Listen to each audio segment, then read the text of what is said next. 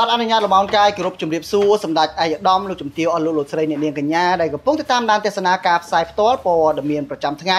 ដែលរៀបចំឡើងដោយក្រុមការងារការិយាល័យព័ត៌មានទូទៅនៃអគ្គលេខាធិការដ្ឋានក្រមប្រឹក្សាកីឡាក្រសួងអបតីស្វាគមន៍បងប្អូនប្រិយមិត្តមកកាន់វគ្គទី3ដែលជាវគ្គកិច្ចសម្ភារបាទជាមួយខ្ញុំបាទក៏ដូចជាពិធីករពិធីការនីសម្ភារជាមួយនឹងកីឡាករកីឡាការនីគ្រូបង្វឹកប្រតិភូអ្នកដែលមានស្នាដៃជូនជាតិមាតុភូមិក៏ដូចជាជូនទៅដល់ក្រុមប្រឹក្សាកីឡាក្រសួងអបតី ថ្ងៃនេះផងដែរខ្ញុំមានកិត្តិយសបានមកដល់ក្លឹបបាទប្រដាល់គុជសាសមានរិទ្ធគុណខ្មែរបាទនៃសមាគមកីឡាប្រដាល់ក្រសួងមកផ្ទៃដែលជាការរៀបរៀងឡើងដោយលោកគ្រូធីនរិទ្ធបាទដែលលោកបច្ចុប្បន្នក៏លោកក៏ជាមន្ត្រីនៃក្រុមប្រឹក្សាកីឡាក្រសួងមកផ្ទៃដែរបាទកុំឲ្យខាតពេលវេលាយូរយើងទៅជួបគ្នាជាមួយនឹងលោកគ្រូធីនរិទ្ធទាំងអស់គ្នាបាទជំរាបសួរលោកគ្រូបាទជំរាបសួរបាទអរគុណបាទលោកគ្រូជាដំបូងខ្ញុំចង់លោកគ្រូជូនបាទជួយណែនាំឈ្មោះក៏ដូចជាបាទស្វាគមន៍ទៅដល់ប្រិយមិត្តយើងដែលកំពុងតាមទស្សនាបាទ ខ្ញុំបាទគ្រូធីនរិទ្ធគឺជាគ្រូបង្ហាត់នៅក្នុងក្លឹបគុជសាសមានរិទ្ធគុណខ្មែរនៃសមាគមកីឡាប្រដាល់ក្រសួងមហាផ្ទៃខ្ញុំបាទបច្ចុប្បន្នមានទីតាំងនៅនៅសង្កាត់នៅនេះខណ្ឌខណ្ឌពោធិ៍សែនជ័យសង្កាត់តពាំងកសាំងអឺគុំសាមគី3បាទបាទអរគុណលោកគ្រូបាទលោកគ្រូបច្ចុប្បន្នលោកគ្រូមានអាយុប្រហែលអាយុ40 46ឆ្នាំហ្នឹង46ឆ្នាំហើយបាទ46ឆ្នាំតែលោកគ្រូនៅមានមមតមអាចនៅប្រហាត់បានច្រើនលោកគ្រូបាទនៅនៅអាចបង្ហាត់បានអត់បញ្ហាអាចនៅកាន់ស៊ីបកាន់អីឲ្យសិស្សបានទេគ្រូបាទគាត់ឈឺម្ដងម្កាលឈឺម្ដងម្កាលបាទដោយសារតែថ្ងៃមុនតាមពិតប្រិមត្តទស្សនិកជនក្រុមការងាររបស់យើងត្រូវមកសម្ភារលោកគ្រូយូរដែរតែគាត់ថាមករយៈមុនលោកគ្រូថាគាត់អត់ស្រួលខ្លួនបាទហើយណាមួយកំពុងតែកែក្លឹបថ្មីផងបាទយើងជួសជុលបាទជួសជុលក្លឹបមួយចំនួនតូចបាទដូច ប្រិមិត្តបានទស្សនាឃើញហើយបាទឃើញរៀងប្របាកបាទក្លឹបរបស់លោកគ្រូធីនរិទ្ធនេះបាទរៀងមកលិចបាទប្រិមិត្តខ្ញុំខ្ញុំមកដល់នេះរៀងយូរដែរខ្ញុំមកដល់នេះតាំងពីម៉ោង1ជាង7បាទគាត់ថាចេះតែភ្លៀងបង្អោលមករហូតអត់បានបាទថតទេបាទទើបតែបានថតនៅពេលនេះបាទថាភ្លៀងខ្លាំងពេកបាទអរគុណលោកគ្រូបាទយើងងាកមកកាន់បាទក្លឹបលោកគ្រូវិញបាទលោកគ្រូបច្ចុប្បន្នក្លឹបលោកគ្រូមានសិស្សចំនួនប្រមាណអ្នកដែរ សិស្សសរុបទៅ10នាក់ជាង10នាក់ជាងប៉ុន្តែស្នាក់នៅជាមួយខ្ញុំ8នាក់ស្នាក់នៅតែ8នាក់ទេបាទ8នាក់អញ្ចឹងមិនថាមានសិស្សខាងក្រៅក៏នៅមកប្រកាសដែរមានមាននៅតាមតំបន់ផ្សេងផ្សេងមកហាត់ដល់ម៉ោងបានមកអូដល់ម៉ោងគាត់បានគាត់អញ្ជើញមកហាត់បាទបាទសម្រាប់យើងនិយាយថាជាកម្លាំងស្នូលរបស់ក្លឹបហ្មងលោកគ្រូមានចំនួនប្រហែលរូបដែរដែលថាអាចធ្វើការប្រកួតនៅលើសង្វៀនបានមានច្រើនដែរមានអាអ៊ុជរិទ្ធរិទ្ធវិបុលមិលសរុនមាសរៈនៅតារោ អឺអឺរិទ្ធប្រយុទ្ធហើយនឹងមានកីឡាករប្រឡូកគុណខ្មែរមកថែមទៀតនៅទៀតហើយនឹងក៏មានកីឡាករការនីដែរមានកីឡាការនីដែរបាទបាទប្រិយមិត្តទស្សនិកជនដោយសារតែបច្ចុប្បន្ននេះវិស័យកីឡាប្រដាល់គុណខ្មែររបស់យើងរីកដុះដាលខ្លាំងបាទដូច្នេះដូច្នេះហើយមិនត្រឹមតែមានតែកីឡាករទេកីឡាករនីយើងក៏មានច្រើនសម្រាប់ធ្វើការវឹកហាត់ក៏ដូចជាមានប្រកួតទៀតលោកគ្រូមែនទេគ្រូបាទបាទ អរគុណបាទលោកគ្រូអាចជំរាបជូនបានទេថាសម្រាប់ការកែកុន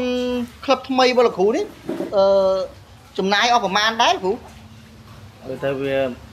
ចំណាយមិនច្រើនប្រមាណទេក៏ប៉ុន្តែវាវាច្រើនសម្រាប់យើងបាទបាទបាទច្រើនសម្រាប់តែយើងកំពុងតែខ្វះខាតបាទវាអស់ប្រហែលជាខ្ទង់ជិត1000ដែរហ្នឹងដែលយើងជួសជុលមានសិស្សខ្លួនឯងព្រោះយើងអត់ជួលជាងធ្វើខ្លួនឯងបាទធ្វើខ្លួនឯងជាមួយនឹងសិស្ស ហើយចឹងមិនត្រូវជាចំណាយអស់ប្រហែលទេប៉ុន្តែយើងបានតែ70%មិនតាន់ជាបាន100%ទេបាទគាត់យើងជួសជុលដើម្បីហ្វឹកហាត់បានណាបាទបាទដើម្បីវាអបអការហ្វឹកហាត់សុខចិត្តជួសជុលដើម្បីបន្តទៅមុខទៀតបាទបាទឥឡូវបានប្រហែលជា70%ហើយអាចទៅមុខទៀតអាចទៅមុខទៀតបាទ70%ដែលការជួសជុលហ្នឹងដែលមានបងប្អូនមានអាយដាមហេងសខូនប្រធានសហព័ន្ធ kickboxing បាទគាត់បានជួយ ជាថវិកាជាសម្ភារៈខ្លះហើយក៏មានបងប្អូននៅនៅខេត្តសៀមរាបខាងតែងបុរាណនៅតែហ្នឹងគាត់ជួយជាថវិកាមកដើម្បីជួយជុលក្លឹបបានប៉ុណ្ណឹងបាទហើយសូមអរគុណដល់លោកប្រធានហើយនិងអរគុណដល់បងប្អូនដែលបានជួយជ្រោមជ្រែងបាទបាទបើសិនជាគ្មាន follow ទេបាទគឺក្លឹបបាទគឺយើងអាចនិយាយថាដោយសារតែយើងចំណាយច្រើនបាទចំណាយច្រើនបាទតែលោកគ្រូជំរាបឲ្យថាលោកគ្រូមានសិស្សជាង10នាក់ដែរក៏ប៉ុន្តែមូលហេតុដែលថាយើងចំណាយច្រើនគឺថាអឺ មិនមិនមិនមានទទួលការមានន័យថាមានន័យថាមិនមិនមិនទទួលថាវិការពិសេសទេឬក៏យ៉ាងណាដែរបានលោកគ្រូនៅរៀនពិបាកបើនិយាយទៅសម្រាប់សិស្សថ្មីថ្មីមកយើងយកដែរតិចតួចសម្រាប់ទិញសម្ភារៈទៅណាបាទយកអត់យកច្រើនទេសម្រាប់ទិញសម្ភារៈដូចយកឲ្យហាត់ខ្លួនឯងហ្នឹងឯងប៉ុន្តែចំណាយដែលដែលយើងត្រូវចំណាយជាប្រចាំគឺការហូបចុកផងកីឡា ការហូបចុកកីឡាយើងគិតមើលទៅវាក្នុងមួយថ្ងៃយើងចំណាយអស់ប្រមាណប្រមាណអញ្ចឹងយើងសរុបទៅខែវាច្រើនដែរបាទបាទបាទហើយយើងបាក់និយាយដែរហ្នឹងបាទដោយសារសិស្សដែលស្នាក់នៅជាមួយលោកគ្រូផ្ទាល់នេះក៏ច្រើនដែរបាទច្រើនតែអញ្ចឹងយើងត្រូវការចំណាយជារហូតបាទជាប្រចាំខែហើយចំណូលវាបានតិចអញ្ចឹងណាបាទបាទចំណូលបានតិចអញ្ចឹងយើងចំណាយច្រើនជាងចំណូលបច្ចុប្បន្ននេះអឺកូនសិស្សលោកគ្រូសម្បូរអឺការប្រកួតទេលោកគ្រូអឺមួយរយៈក្រោយនេះរៀងក្រាន់បើតិច បាទមួយរយៈក្រោយនេះរៀងក្រាន់បើដោយសារកីឡាយើងអឺសម្បូរស្ថានីយកើតច្រើនអញ្ចឹងណាបាទបាទមានគ្រប់អញ្ចឹងយើងដាក់ទៅគាត់បានប៉ុន្តែបានបានតែកីឡាករលំដាប់តែល្អល្អដែរអូកីឡាករដែលថ្មីថ្មីអត់សូវបានទេបាទបាទចុះបើសិនជាបានមានស្ថានីយ៍ក៏ដូចជាមានកម្មវិធីណាដែលថាដាក់សម្រាប់កីឡាករថ្នាលក៏ដូចជាយុវជនដែលទើបតែចូលហ្វឹកហាត់ចឹងដើម្បីឲ្យគាត់ស្គាល់រីងអីចឹងណាលោកគ្រូមានដែរច្រើនមានមានគួរសមច្រើនគួរសមដែរទេសម្រាប់អឺពួកគាត់ ឥឡូវនឹងមានឥឡូវមានអឺថាផងក៏បង្កើតថ្នាលបង្កើតអីច្រើនដែរអញ្ចឹងខ្លួនយើងនៅកំពុងហ្វឹកហាត់បាទបាទតែយើងមិនទាន់អាចចេញប្រកួតបានណាបាទបាទឥឡូវអឺចាប់ពីពេលហ្នឹងទៅខ្ញុំនឹងអឺពង្រឹងដើម្បីធ្វើការប្រកួតឲ្យបានច្រើនបាទបាទបាទអរគុណលោកគ្រូលោកគ្រូចុះលោកគ្រូមានត្រៀមសម្រាប់សិស្សលោកគ្រូក្នុងសប្តាហ៍នេះក្នុងការប្រកួតដែរឬអត់លោកគ្រូមានមានសប្តាហ៍ហ្នឹងមាន3នាក់អឺ ក្នុងថ្ងៃសុក្រថ្ងៃសុក្រហ្នឹងអឺមានមើលសរុនមួយប្រកួតនៅអឺកម្មវិធីអឺគូបតាបាទគូបតាសម្រាប់ថ្ងៃសុក្រហើយអឺហើយសម្រាប់ថ្ងៃសៅរ៍មានអឺនៅថោនស្ថានីយ៍ទូរថោនបានផ្ដល់ឱកាសឲ្យកីឡាយើងបានមួយដែរហើយអឺមួយទៀតអឺនៅបាយ័នសម្រាប់ថ្ងៃអាទិត្យមានមួយទៀតថ្មីកីឡាករដែលកំថ្នាលថ្នាលលោកគ្រូបាទថ្នាលអូបាទលោកគ្រូមាននេះយ៉ាងណាដែរសម្រាប់មើលសរុនដែលថាត្រូវប្រកួតទៅបាយ័ននេះអឺ សម្រាប់អឺមើលសរុនពិបាកនិយាយដែរព្រោះថាតែខ្ញុំហើយទៅប្រជុំហើយខ្ញុំហើយហ្នឹងយើងអត់សូវបានហាត់បាទវឹកហាត់រៀងស្ទើរដែរហើយអញ្ចឹងបើគិតមើលទៅគូក៏ល្អលំដាប់ហ្នឹងវាយគ្នាបានអាចល្អមើលឡើងទៅប្រកួតល្អមើលលោកគ្រូទទួលជ្រាបថាកីឡាករដែលត្រូវប៉ះមួយមើលសរុននឹងកីឡាករណាដែរកីឡាករដែលប៉ះមួយមើលទៅអឺបើផិនសុទីហ្វឹមសុផិនសុទីនៅក្នុងក្លឹបអឺសំណាងគុនខ្មែរចំណោះឲ្យក្រសួងមហាផ្ទៃចឹងដែរអូបាទតែបើសម្រាប់ហ្នឹងការប្រកួត យើងចាប់ទៅបានបាបាទទបាទបាទលោកគ្រូដឹងទេថាកីឡាករដែលមកពីក្លឹបអឺដែលដែលជាដៃគូប្រកួតជាមួយនឹងមើលសរុននឹងជាកីឡាករប្រភេទបែបណាដែរនិយាយទៅកីឡាករផាកផាយគ្នាទេមិនអឺក្នុងលំដាប់ B លំដាប់ C ទេបាទបាទមិនតាន់ដល់ថ្នាក់លំដាប់ A អញ្ចឹងអឺលំដាប់ហ្នឹងកីឡាករយើងអាចប្រកួតគ្នាបានអត់បញ្ហា មានន័យថាអាចអឺសមត្ថភាពសម្រាប់ពួកគាត់អាចនឹងប្រដងផ្សំគ្នាបាទផ្សំគ្នាល្អមើលបាទបាទចុះលោកគ្រូអាចរំពឹងសម្រាប់លោកកូនសិស្សលោកគ្រូបានទេថារំពឹងសម្រាប់គាត់បែបណាដែរបើយើងពិបាកនិយាយដែរព្រោះតែខ្ញុំហើយហើយយើងតែប៉ុន្តែសម្រាប់ខ្ញុំខ្ញុំរំពឹងបាទព្រោះយើងមានកីឡាក្បាច់យើងធ្ងន់ជាងបាទបាទកីឡាយើងធ្ងន់ជាងបាទបាទ ចឹងជាប្រិយមិត្តទស្សនិកជនមានតែលោកគ្រូបានក៏ដូចអឺលោកគ្រូបានជម្រាបហើយចឹងកីឡាករពីររូបនេះរៀងបដោះប្រសងគ្នាតែចឹងទៅបើយើងរំពឹងខ្ពស់ពេកក៏ពិបាកយើងមិនអាចថាបានហើយណាមួយទៅតែប្រជុំហើយចឹងអឺសម្រាប់ពីការប្រជុំ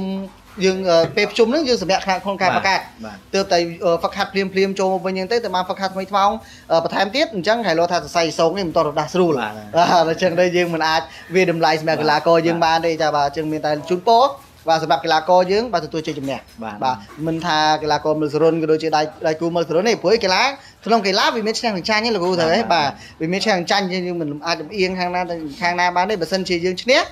វាជា credit របស់យើងល្អបើយើងជាចាញ់ចាត់ទុកវាជាបទពិសោធន៍មួយចុះបាទហើយក៏អឺខ្ញុំហើយហ្នឹងអឺបន្ទាប់ពីសប្តាហ៍ថ្ងៃ20ហ្នឹងថ្ងៃ27យើងមានច្រើនមានច្រើនទៀតដែលគ្រូវាយដែលប្រកួតតំណាងឲ្យក្រសួងមហាផ្ទៃយើងបាទមាន អឺអឺរឹតបុលរឹតបុលប្រកួតដណ្ដើមប្រាក់លានកម្មវិធី Red Arm បាទហើយអឺអឺឧចរិតឧចរិតប្រកួតមិត្តភាពអន្តរជាតិបាទហើយអឺនៅតារ៉ូប្រកួតអឺជាលក្ខណៈដណ្ដើមខ្សែក្រវ៉ាត់ទៅតាមខ្សែក្រវ៉ាត់ខារ៉ាបាវអូប៉ុន្តែលក្ខណៈវិលជុំបាទបាទកំពុងតែវិលជុំនៅកំពុងតែវិលជុំបាទសិនបាទចាថ្ងៃ27ហ្នឹងចាប់ផ្ដើមចូលបាទបាទប្រកួតតំណាងឲ្យ កីឡាក្រសួងមហាផ្ទៃបាទអរគុណលោកគ្រូលោកគ្រូត្រៀមសម្រាប់ណាហើយសម្រាប់កីឡាករទាំង3រូបបន្ទាប់នឹងទៀតដែលមានដូចលោកគ្រូបានជម្រាបឈ្មោះខាងលើមិញហ្នឹងលោកគ្រូរំពឹងទៅលើពួកគាត់បែបណាខ្លះដូចជាកីឡាករដែលត្រូវលេងម៉ារ៉ាតុនដណ្ដើមប្រាក់រៀនអឺប្រាក់ប្រាក់លានអឺកីឡាករដែលត្រូវជួបជាមួយនឹងបរទេសហើយនឹងជាមួយកីឡាករដែលដណ្ដើមខ្សែក្រវ៉ាត់លោកគ្រូរំពឹងទៅលើពួកគាត់បែបណាខ្លះរៀងខ្លួនគ្រូបាទសម្រាប់ខ្ញុំអឺខ្ញុំសង្ឃឹមច្រើនអឺសម្រាប់រិទ្ធបុលហើយនិងឧជារិទ្ធបាទច្រើនហើយ សម្រាប់នៅតារោក៏សង្គមដែរប៉ុន្តែភាគតិចភាគភាគរយគឺតិចតិចជាងច្រើនដោយសារក្នុងលំដាប់ខ្សែក្រវ៉ាត់បុលជុំសិតតែកីឡាករលំដាប់មកបាទបាទសិតកីឡាករដែលល្អល្អយើងជួមុខអញ្ចឹងយើងពិបាកនិយាយដែរវិលជុំទឹមជុំដំបងបាទតាមជុំពបាទបាទ អរគុណបាទអរគុណលោកគ្រូបាទប្រិយមិត្តទស្សនិកជនដោយដែលលោកគ្រូបានជម្រាបអញ្ចឹងមកពីបាទកីឡាករដែលគាត់នឹងត្រៀមបាទសម្រាប់ការប្រកួតនៅខាងមុខដែលជាកូនសិស្សរបស់លោកគ្រូផ្ទាល់បាទអឺនឹងរៀបចំការប្រកួត មានសប្តាហ៍នេះផងនិងសប្តាហ៍ក្រោយផងបាទបាទដូច្នេះលោកគ្រូរៀងមមាញឹកបន្តិចបាទជាមួយនឹងក្នុងការអឺហ្វឹកហាត់ក៏ដូចជាបង្វឹកចាំពួកគាត់ថ្ងៃចាំថ្ងៃបាទអរគុណបាទលោកគ្រូខ្ញុំសូមសួរបន្តិចទៀតតើតងជាមួយនឹងក្លឹបរបស់លោកគ្រូនឹងវិញអឺថា បច្ចុប្បន្ននេះខ្ញុំឃើញតាមមើលទៅវារៀងខ្វះខាតច្រើនដែរលោកគ្រូបាទវានៅខ្វះខាតអីច្រើនណាស់លោកគ្រូមើលទៅវាខ្វះខាតច្រើនដែរសម្ភារៈបង្ហាត់មើលទៅវាបើនិយាយពីក្លឹបយើងវា